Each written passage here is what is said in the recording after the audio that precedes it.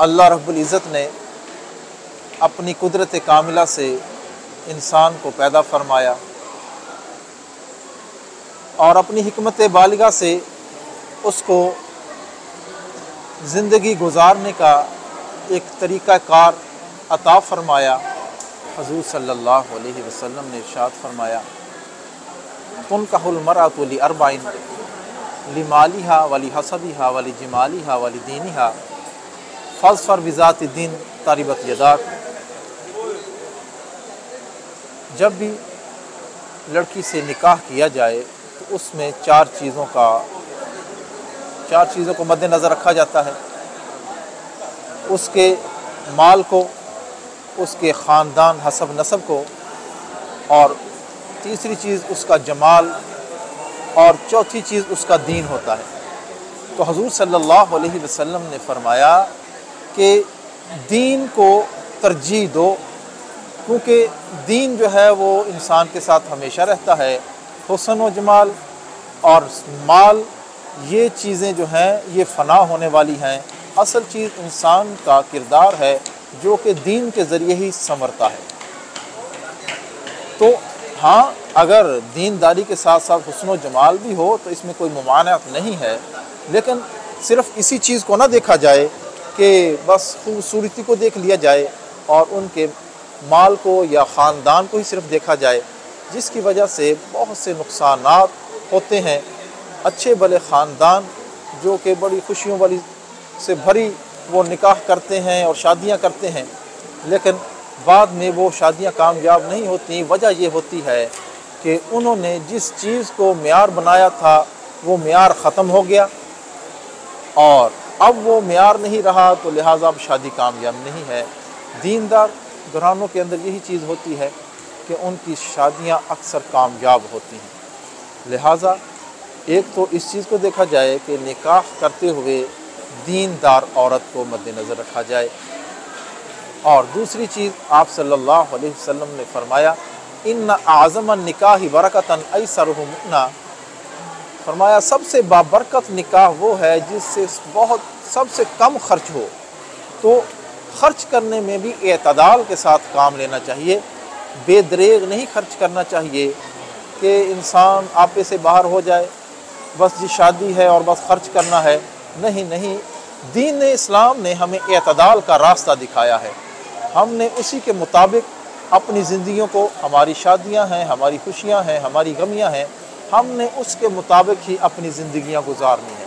जैसा हजूर अलैहि वसल्लम ने फरमाया, अगर हम इस एतबार से, इस लिहाज से अपनी शादियाँ करेंगे, शादियों को सादगी के साथ अंजाम तक पहुँचाएँगे, उसका एक फ़ायदा तो ये होगा कि दीन, जो लोग गरीब हैं, उनके लिए, बेचारों के लिए अपनी बच्चियों की शादियाँ करना आसान हो जाएगा।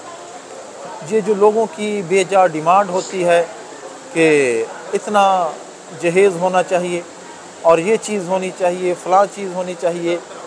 अब बेचारी उन लोगों, बेचारे गरीब लोगों के पास ना इतना पैसा हो, ना वो उन लोगों की, लड़के वालों की डिमांड पूरी कर सकें। यही वजह है कि गरीब लोगों की बच्चियाँ घर बैठी बेचारी बूढ़ी हो जाती हैं, बाल सफ़ेद हो जाते हैं, वालदेन बेचारे परेशान होते हैं। हमारे प्यारे महबूब सल्लल्लाहु अलैहि वसल्लम ने बड़े प्यारे अंदाज में हमें बता दिया कि शादी को सादा अंदाज में करो। और इतना ज़्यादा इजतमा और अहतमाम करने की ज़रूरत नहीं है। हज़रत अब्दुलरहमान बिन औफ रज़ी अल्लाह तु हजूर अलैहि वसल्लम के बड़े प्यारे सहाबी हैं आशरा मुबशरा में से हैं। एक मरतबा हजूर के पास हाज़िर हुए। उनके जिसम पर जर्द रंग रंग लगा हुआ था। तो हजूर ने पूछा कि ये कैसा रंग है? तो उन्होंने अर्ज़ किया अल्लाह के नबी, मैंने निकाह कर लिया है, शादी कर ली है। एक गुठली के बकदर सोने के बराबर, यानी महर दिया है। तो आप सल्लल्लाहु अलैहि वसल्लम ने फरमाया, बहुत अच्छा किया आपने तो शादी कर ली। अब आपने कोई एतराज़ नहीं फरमाया कि मैं मौजूद था, आपने मुझे दावत क्यों नहीं दी? और हज़रत अब्दुलरहमान औफ रज़ी अल्लाह तहों ने भी ये तकल्लुफ़ नहीं किया कि हजूर अलैहि वसल्लम को भी शादी में बुला लें तो इससे मालूम होता है कि शादी में तकल्लुफ़ात नहीं होनी चाहिए, कि सारे रिश्तेदार ज़रूर हाज़िर होने चाहिए, फ़लाँ को भी बुलाएँ, फ़लाँ को भी बनाएँ इससे और ज़्यादा परेशानियाँ खड़ी होती हैं। आपने फरमाया अवलिम वलो बिशातिन, अब तुम इसका वलीमा करो, चाहे एक बकरी ही क्यों ना हो। तो आपने बड़े सादा अंदाज के अंदर ये बात फरमा दी तो हमें चाहिए कि अपनी शादियों को सादा बनाएँ और आसान बनाएँ। और इसी तरह अपने डिमांड को, अपने मैार को थोड़ा सा कम रखें ताकि शादियों में आसानियाँ पैदा हो इंसान, हर इंसान के अंदर कमी कोताही होती है और खामियाँ होती हैं। फरिश्ते नहीं मिलते। लिहाजा हजूर सल्लल्लाहु अलैहि वसल्लम ने इरशाद फरमाया, इज़ा ख़ातबा अलैकुम मन तरजौन दीना हो व खुलक़ा हो फजवजू हो जब जब भी तुम्हें कोई ऐसा मर्द निकाह का पैगाम भेजे जिसके तुम दीन से भी राज़ी हो और उसके अखलाक से भी राज़ी हो फजवजू हो तो उसका निकाह कर दो। अल्ला तफ़ालू, अगर आपने ऐसा ना किया, तकुन फितना तुम फिल अर्जी व फसाद अरीज़ तो रूए ज़मीन के अंदर फितना और फसाद बर्पा हो जाएगा। आज हम जब देखते हैं, असल फितना और फसाद की वजह यही है, एक तो शादियों के अंदर ताख़ीर करना बेजा और अपनी डिमांड को बढ़ा लेना जिसकी वजह से बच्चियाँ भी बैठी रहती हैं और बच्चे भी बेनकाहे रहते हैं, जिसकी वजह से गुनाहों के दरवाज़े खुल जाते हैं। दीन इस्लाम ये चाहता है कि हमारा मुआशरा ये पाकिज़ा रहे। हमारे नौजवान बच्चे और बच्चियाँ इफ़त और पाक दामनी की ज़िंदगी गुजारें और इसका वाद हल और जो बताया है दीन इस्लाम ने, वो निकाह है। निकाह के ज़रिए से हम इस अपनी ज़रूरियात को अच्छे अंदाज में पाया तकमील तक पहुँचा सकते हैं। और ये निकाह, जहाँ ये एक नौजवान मर्द और औरत की ज़रूरत है, वहाँ ये एक इबादत भी है, बल्कि ये बाबुल इबादत है। निकाह के ज़रिए से बंदे पर इबादत के दरवाज़े खुल जाते हैं। वो बंदा, जिसके पहले दस रिश्तेदार थे, उनके साथ सिला रहमी करता था तो उसको दस रिश्तेदारों के साथ सिला रहमी करने का अजर और स्वाब मिलता था। अब उसको, उसके रिश्तेदार बढ़ गए, बीस हो गए निकाह की वजह से। अब बीस के साथ सिला रहमी करता है तो उसका अजर और स्वाब और ज़्यादा बढ़ चुका है।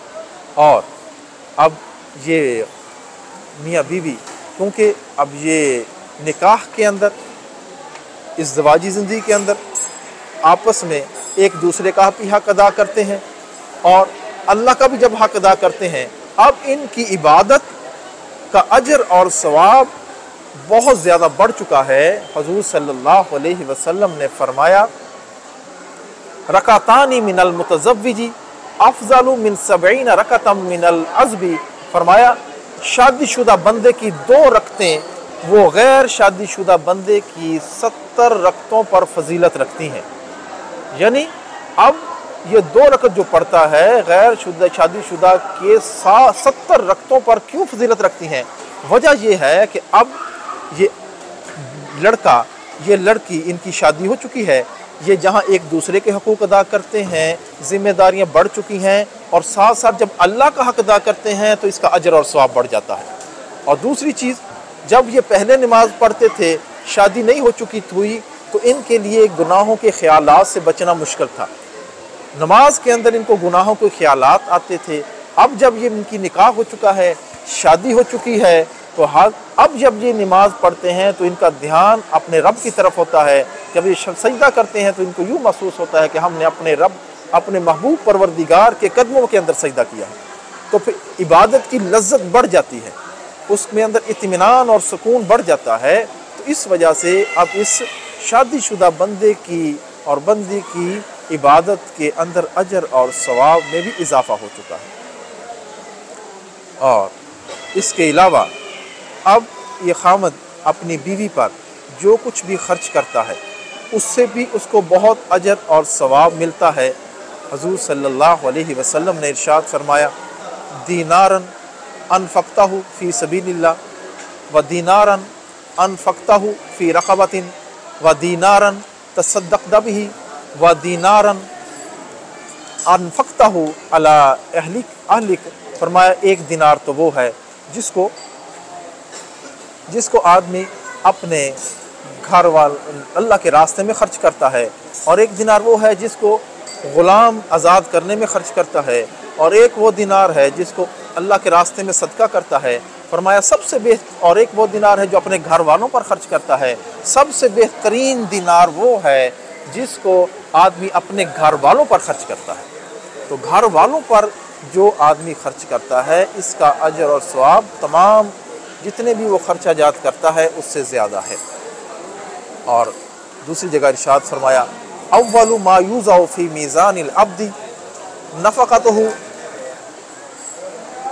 अला अहली सबसे पहले क़्यामत के दिन जो मिज़ान के तराजू में जो दिरहम और दिनार तोला जाएगा, वो होगा जो बंदे ने अपने अहल पर ख़र्च किया होगा।